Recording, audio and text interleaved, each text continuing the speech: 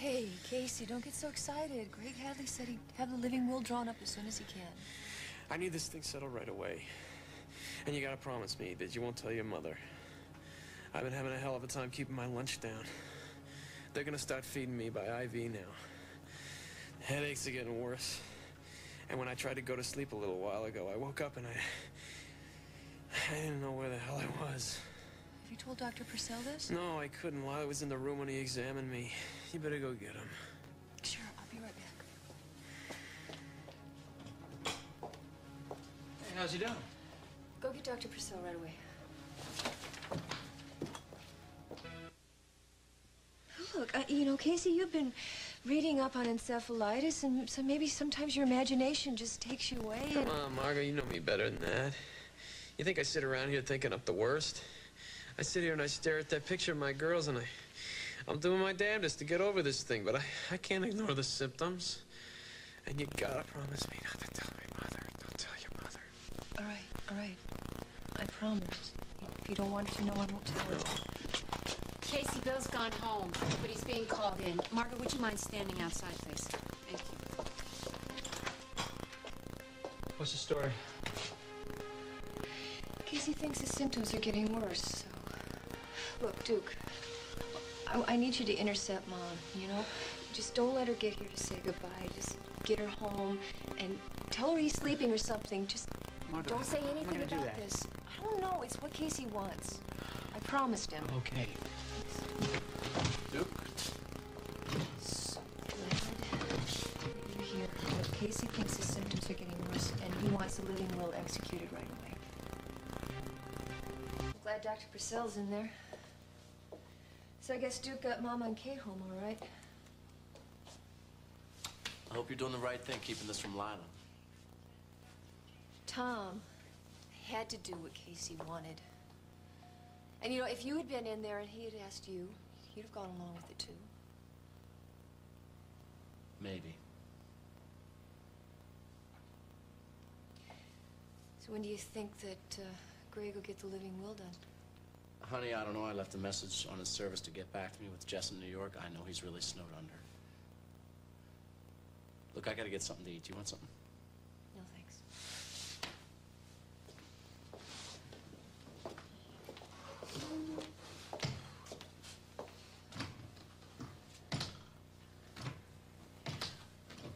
Margo, I think that somebody should call Bob and tell him about Casey.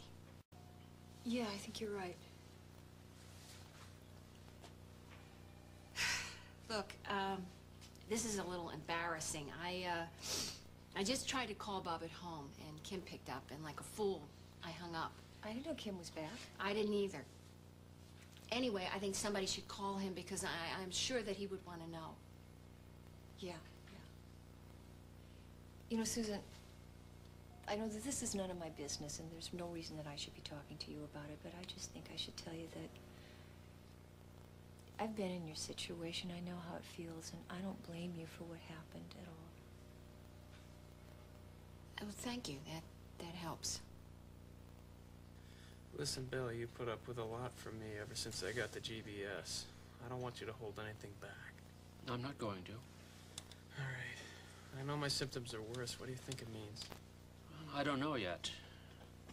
Looks like your breathing hasn't changed. No, but I'm having a whale of a time swallowing, and I know that my headache is. Well, you know that could be a reaction to the spinal tap. And your loss of appetite could be caused by stress. Your fever's down. Temperature's lowered now, almost normal. That's a good positive sign. Yeah, but I told you, I was really feeling disoriented there for a few minutes, and that's what's really got me worried. Well, that could be caused by stress, too. Don't worry, we're going to continue to monitor very carefully. So See what, if you, it recurs. what you're saying is, is that I should just wait and see. Mm-hmm. What's happening? We don't know. Dr. Purcell is in there with him. How'd it go with Mama? Well, I told her Casey was sleeping like he said. I don't think she suspected anything. And then I went over and picked up Kate at your place and drove them both back home. You know, all the way she kept talking about how she thinks Casey's getting better. Okay, Duke, I know you don't like deceiving Mama like this. I don't like it either, but it's what Casey wants. And I think with everything he's been through lately, we ought to honor his wishes. Lisa's staying with Leanne over at your place, and they both asked about case too. Okay, excuse me, I gotta call Bob. Hey, Susan. You know, I think old Case is gonna pull through this. It's gonna be just us three musketeers back in the lab like old times. Right? Oh, hey, Mr. Hughes, uh, there's a call that came in to the main switchboard for you earlier. Uh, thanks, Duke, I got it. Hey, Duke, you might as well know now because you're gonna have to be a witness. Casey wants to draw up a living will.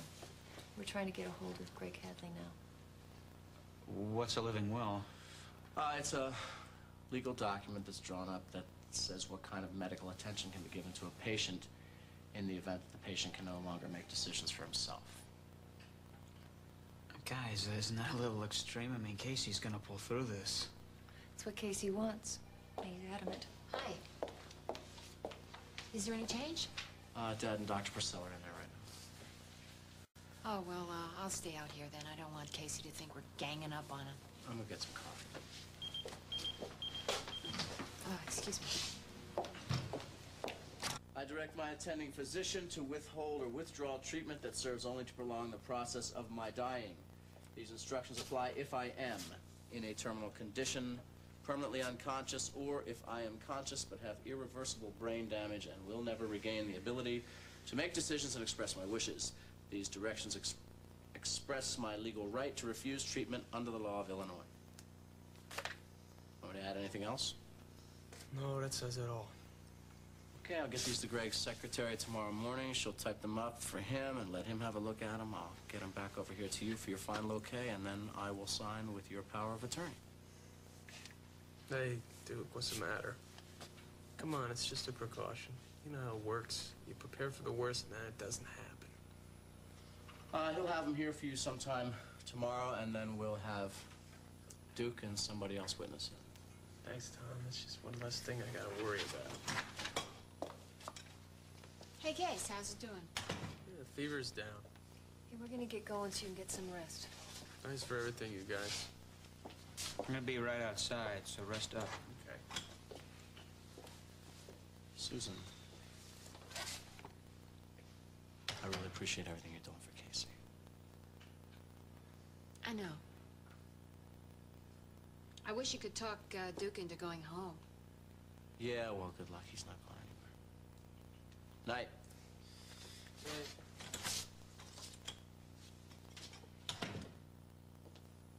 Case, I just wanted you to know that uh, Duke and I are going to be here all night, so if you need anything, you know, just... Oh, you're looking a little sleepy. That's good for you. Yeah, you both gotta get some sleep. You gotta get up early. Gotta get to the hospital in the morning, get to the lab.